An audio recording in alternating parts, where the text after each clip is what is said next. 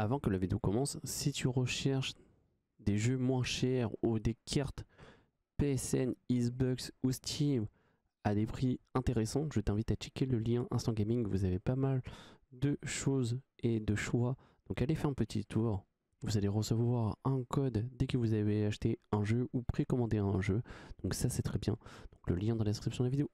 Et bonjour à tous, c'est Superflow, j'espère que vous allez bien. On se retrouve aujourd'hui sur Supermarket Simulator. Je vais vous montrer, alors je vais vous présenter des modes. Alors je suis dégoûté, j'ai fait une première vidéo dessus que vous avez sûrement euh, pu voir. J'ai perdu ma sauvegarde, donc oui, il y a des bugs de sauvegarde. Euh, vous avez des modes aussi à télécharger si vous voulez checker pour les sauvegardes. Je vais vous présenter des modes. Le premier mode, c'est un scanner euh, portatif. Donc en gros, c'est une télécommande que vous pouvez avoir. Euh, je l'ai pas, mais en fait, ça vous permet de gérer vos stocks quand vous avez la réserve qui est derrière.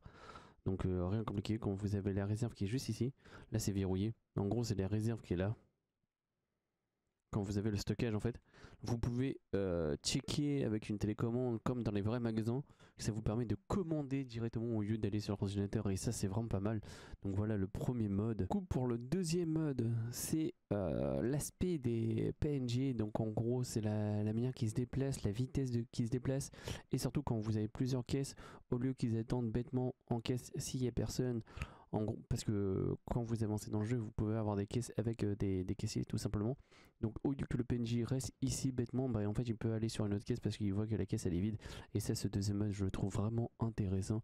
Comme je vous dis, les modes sont dans la description de la vidéo. Si vous voulez, allez checker. Le troisième mode, c'est tout simplement un ajout automatiquement des prix fixes. Donc en gros, euh, quand une journée passe, au lieu de d'avoir euh, pouvoir changer les prix, en gros ça se met automatiquement donc ça c'est vraiment l'avantage. Si par exemple vous avez le prix du marché, vous avez vu c'est marqué 3,96€, euh, et ben en gros ça le met automatiquement à chaque fois 3,96€. Donc bien sûr vous pouvez toujours changer, hein, ça change rien. Si je mets 4€, ça change rien. Mais voilà, ça c'est vraiment intéressant ce, ce petit mode là aussi. Je trouve ça vraiment cool. Hop. On va passer aux automodes. Le quatrième mode, je le trouve vraiment intéressant. Ça vous permet d'avoir euh, le nombre de stockages que vous avez. Par exemple, vous voyez là, il nous reste une bouteille euh, d'huile, de pain et euh, un paquet de pâtes. Donc vous allez sur, le, sur le marché. Donc au lieu de regarder à chaque fois, parce que quand vous avez une, petite, une boutique plus grande, donc là ça sert à rien parce que j'ai une petite boutique, mais si vous avez une boutique plus grande, en gros regardez, ça vous dit combien qu'il vous reste. Boîte de céréales par exemple, on en a 0. Vous avez vu, c'est marqué 0 sur 0. Et de l'huile, on en a une sur 0. Vous avez vu? Ça vous permet de savoir combien qui vous reste en stockage. Et ça, je trouve ça vraiment cool, ce mode. Ça, voilà, ça permet de gérer plus vite le stockage. Donc oui, il y a des endroits qui est 0 parce que j'ai pas acheté. Mais par exemple, vous prenez du pain de mie, c'est bien marqué 2. Du coup, je vais vous présenter le dernier mode qui est vraiment intéressant.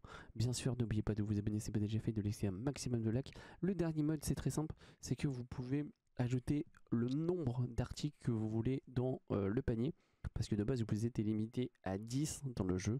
Donc oui c'est un peu dommage. Pourquoi ils n'ont pas fait ça depuis le départ ou quand vous remontez le level ça en vrai dire j'en sais rien.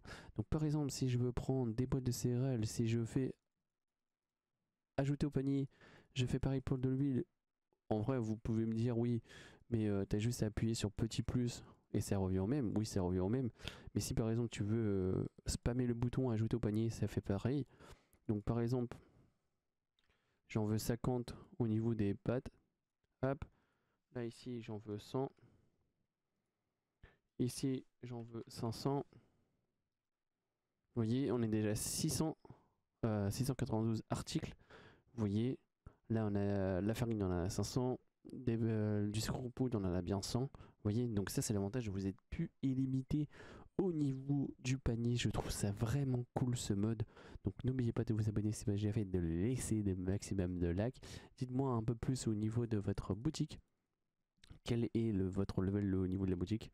Euh, Est-ce que vous avez commencé? Est-ce que la boutique elle est très grande ou pas? Vous pouvez partager vos photos, pourquoi pas sur Discord, rejoignez le Discord. Moi je vous dis très vite et salut tout le monde.